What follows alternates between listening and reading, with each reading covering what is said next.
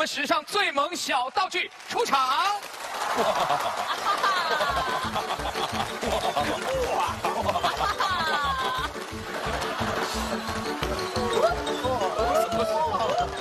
来，跟着我走，跟着我，跟着我。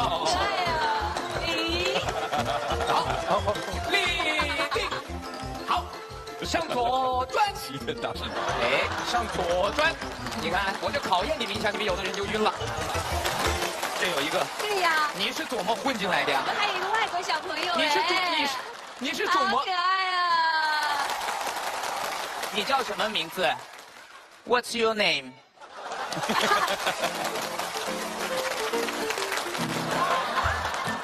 我说的是英语吧是是啊是啊，？What is your name？Where are you from？拜拜。你要干嘛？我喜欢你。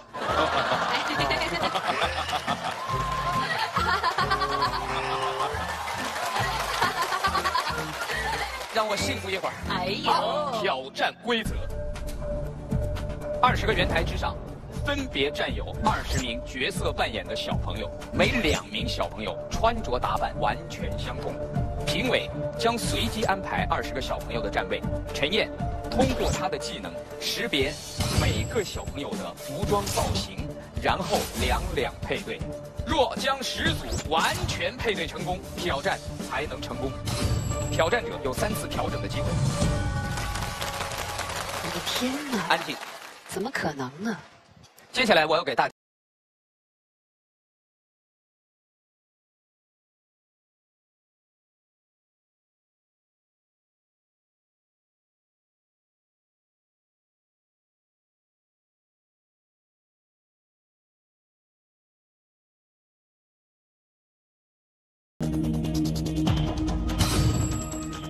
什么意思？是不一样的，不知道放了一点东西，是不一样的，对吗？不一样。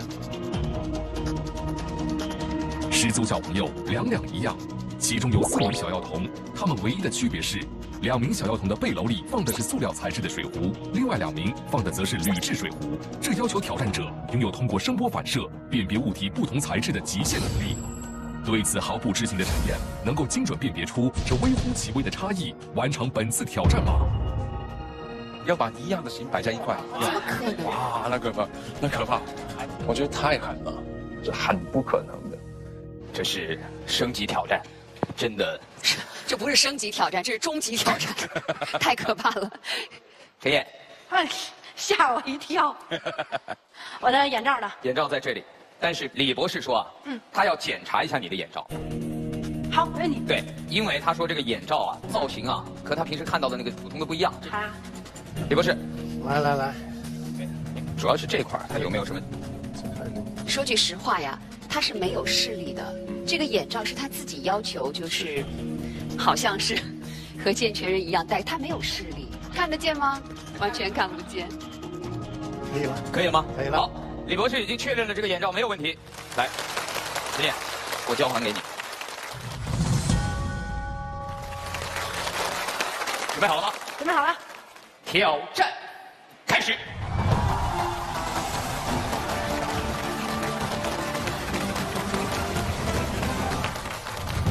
我还是用我的方法来辨别他们。你向老师关一下扩音。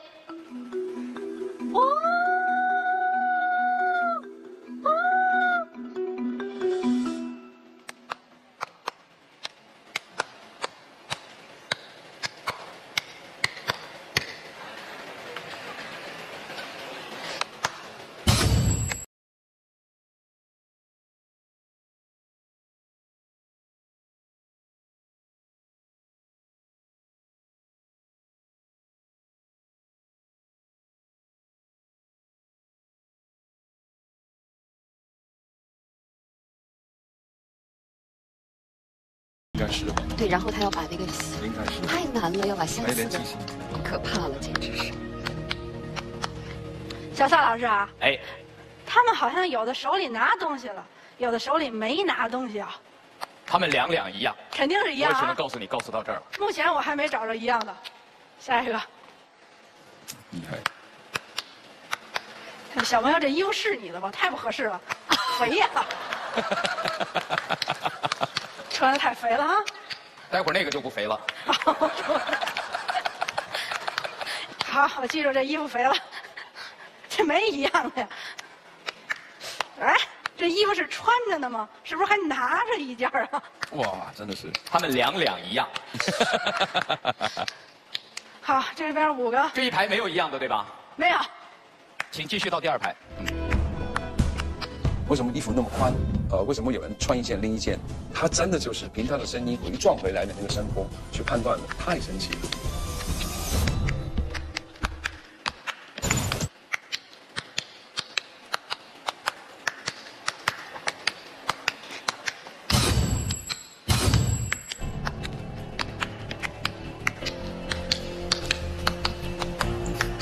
太狠了。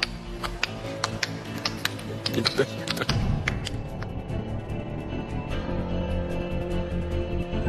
站在第二排第四位的小姚童是陈燕碰到的第一个与之前小朋友造型相同的。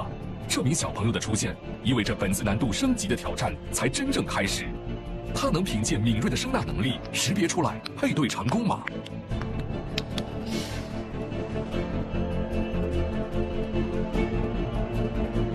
这个似乎跟前面的，你让老师关一下音响。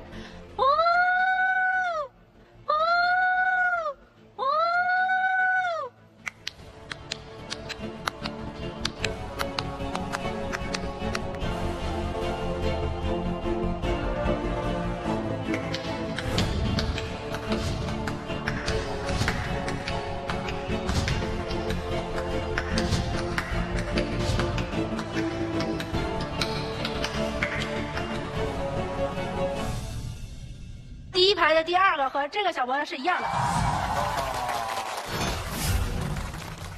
这真怎么死？我想不通。对呀、怎么真是想不通。真是匪夷所思。这就是又穿着衣服，又拿着衣服那位。第二排第三个跟这个小朋友是一样的。小朋友，你这衣服也不是自己的，太不合身了啊！第二排的第二个跟这个是一样的。这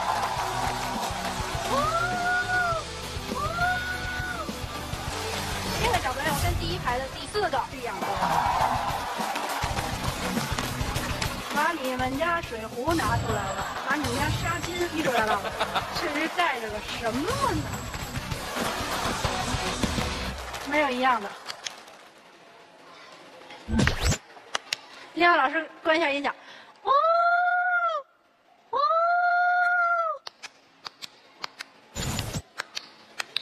这小朋友，我似乎是听到过。这小朋友，我似乎是听到过。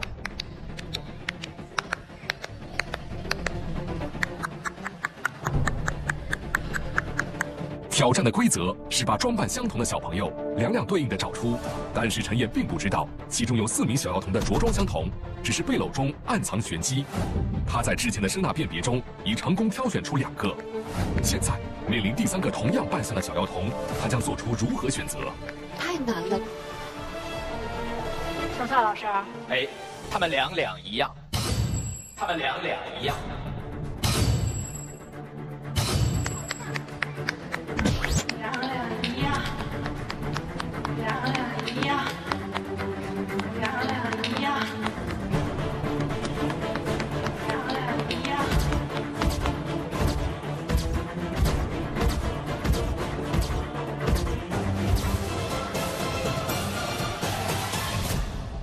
小蔡老师，不能，这是第三个，这是第三个。你确认你之前碰到过同样的吗？对，肯定碰到过，还是两个都挑出来了。哇哇！好，但我告诉你，他们两两一样，但是我可以先把它为你先暂时挑出来，暂时归为他所说的那一类。好，来，截至目前，场上二十名小朋友还剩十一名，着装相同的四名小姚童已成功挑选出三个。陈燕能精准的辨认出剩余的小朋友，挑战成功吗？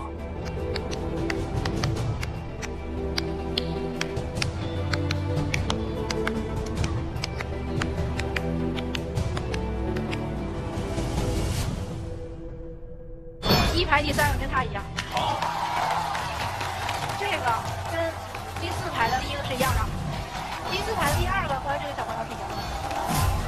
用自身超凡的声呐辨别能力，又成功配对五组。面对最后一名小药童，他却迟迟辨认不出来。他能挑战成功吗？两两一样，还剩一个，我哪儿配对去啊？你让老师关一下音响。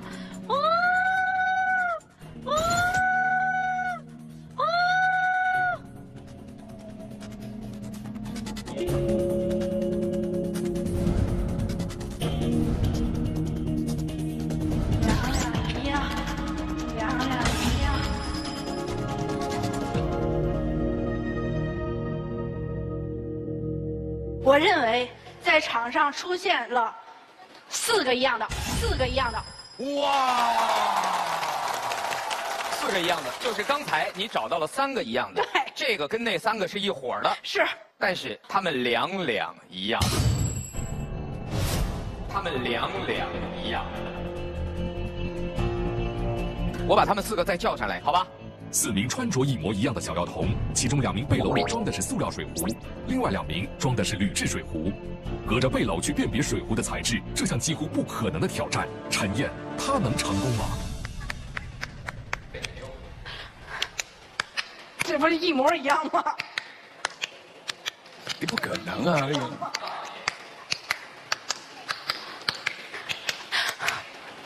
这这怎么会不一样呢？完全按他们的服装和装备，两两一样。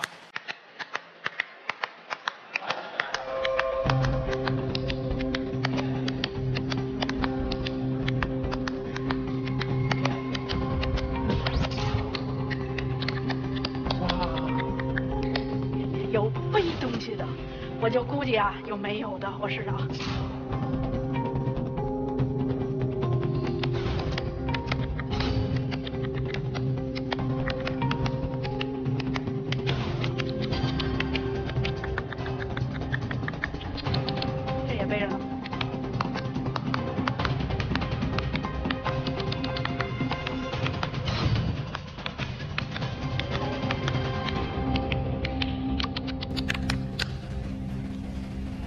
昏头了，真的。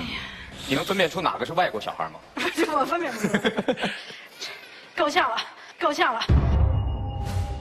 我觉得应该是两个背了背篓，两个没有，但是我没有想到四个都有，让我无从下手了。我觉得我输了。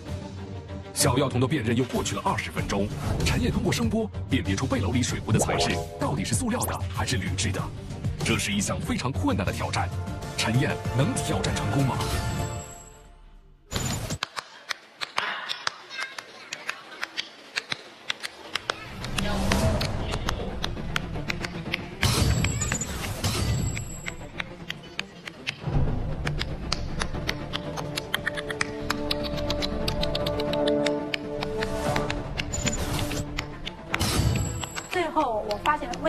微乎其微的发出不同的反射，所以我就按照这个不一样，进一步的找。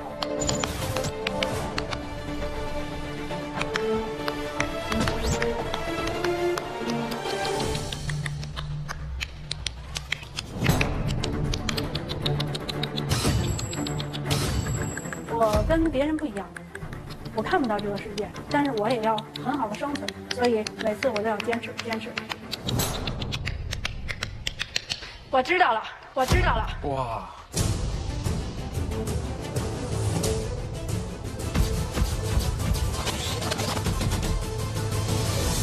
在我面前的这两个小朋友是一样的，那两个小朋友是一样的。为什么？我通过他们篓子里背的东西的材质不同，哇，哇。陈燕完全挑战正确，这两个小药童背的是塑料水壶，而另外两个小药童背的是金属水壶。挑战成功！哇！我是一次又一次被陈燕感动。我觉得他根本就不是在挑战什么项目，而是向我们呈现他这四十多年的一个生存的能力。谢谢。在谢谢我们这些可爱的孩子们。谢谢，在之前我从来没有考虑过，我今天能跑的能到现在这个地步，谢谢。真是让我们太震惊了，我的天！我觉得有一点很好奇的是，其实这过程当中，陈燕你也有对自己特别没有把握的时候啊。可是整个过程当中，你表现出来的态度却是格外的轻松。你是为了让我们看吗？还是你为了暗示你自己，你可以克服一切困难？这是我生活的一个态度。记得在我小的时候，我总是遭到别人的排挤，说我是一个盲孩子，甚至于很多人说我是一个瞎子。但是姥姥总是说。成功并不重要，最重要的就是享受过程。所以，我的这前半生一直在享受过程，在我的世界当中听到的世界也很美丽。